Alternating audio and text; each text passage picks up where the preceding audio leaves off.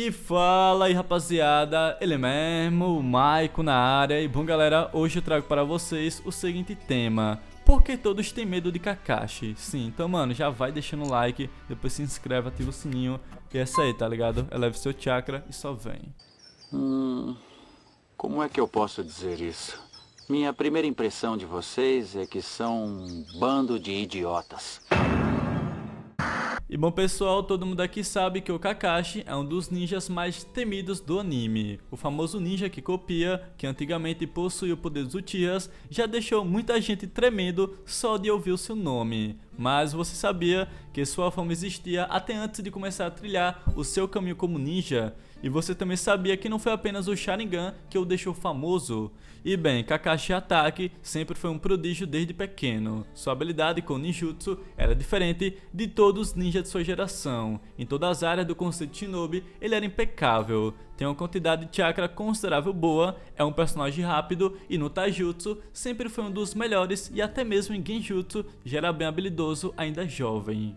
Portanto, quando eu falo que Kakashi já era um ninja quase perfeito ainda jovem, eu não estou exagerando. Ele já era bem famoso no País do Fogo e até em outros países. Todavia, o fato de seu pai ser um dos ninjas mais importantes e poderosos do mundo ajudou um pouco a expandir sua fama em todos os países do mundo ninja. Mas, como eu disse, sua fama no País do Fogo não veio apenas através de seu pai. Doton! Tsunami no Jutsu!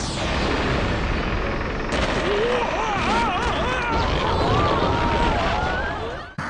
No entanto, rapaziada, não vamos exagerar demais, né? Ser filho do Canino Branco ajudou bastante a expandir sua fama fora da Vila da Folha, até porque ambos se pareciam muito. Tanto que a vovó Shio da Vila da Areia acabou atacando Kakashi pensando que era seu pai. Afinal, Sakumo Hatake foi o responsável por matar o filho da vovó Shio lá na Segunda Grande Guerra Ninja. Inclusive, esse cara que o Canino Branco matou é o pai de Sasori. 木の葉の白い牙。乗れー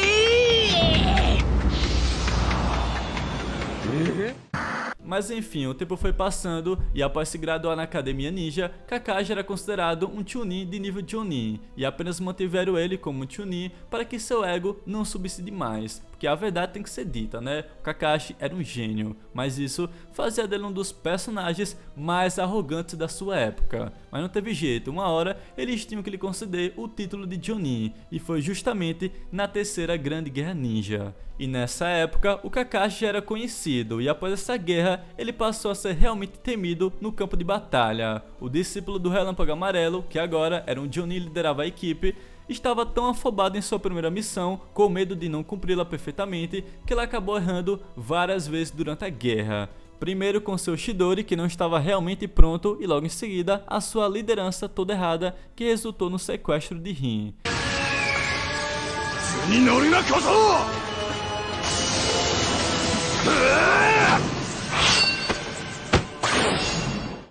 Isso tudo aconteceu porque ele seguia as regras de forma bem rígida. Afinal, o seu pai se matou após ser defumado pela Vila da Folha em não terminar a missão para salvar seus companheiros. Porém, Kakashi acabou mudando de ideia e, junto ao Obito, salvará Rin dos Ninjas da Pedra. Mas, infelizmente, o Obito se sacrificou para salvar seu amigo de uma pedra enorme que cairia em seu corpo. Com isso, Kakashi, que era um Jonin e líder daquele time, recebe o presente que seu amigo não havia lhe dado. Ele entrega ao Kakashi o seu maior tesouro, o seu Sharingan. E aqui nasceu o famoso ninja que copiou mais de mil jutsu, Kakashi do Sharingan. そもそも他国にまで轟かせた自分の有名を忘れちゃいないだろシャリンガンのかかしって名を。Agora Kakashi, além de ser reconhecido mundialmente, ele também era temido porque havia completado seu jutsu, o letal Shidori, que é basicamente impossível de se defender a não ser que você seja tão rápido quanto o ataque ou tenha algum jutsu do mesmo nível. Com essa técnica mortal aperfeiçoada pelo seu Sharingan, agora ele podia completar as missões da forma mais simples, que é matando seus inimigos sem piedade. Kakashi se tornou um assassino frio, tanto que foi para Nambu de Danzo e também Nambu que serviu ao Hokage. Mas após um longo período dentro dessa organização secreta, Hiruzen decide tirá-lo de lá para dar uma folga ao Kakashi e torná-lo líder de um time de genins. No mundo ninja, aqueles que rompem as regras são escória. É verdade, mas aqueles que abandonam seus amigos são piores que a escória.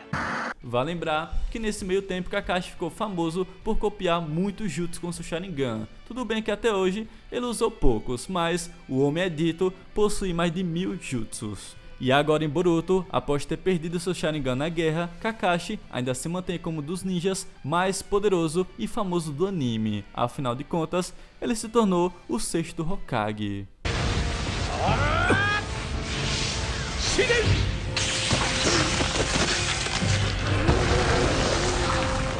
그 다음에